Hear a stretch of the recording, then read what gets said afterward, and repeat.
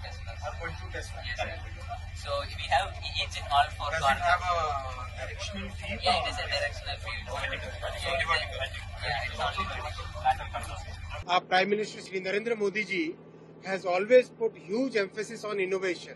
Hyperloop basically is like a tube. There will be a vacuum inside the tube and the pod which will operate inside the tube that will operate in a levitation mode which means there will be magnetic fields which raise the over and above the tracks. It doesn't move on the track.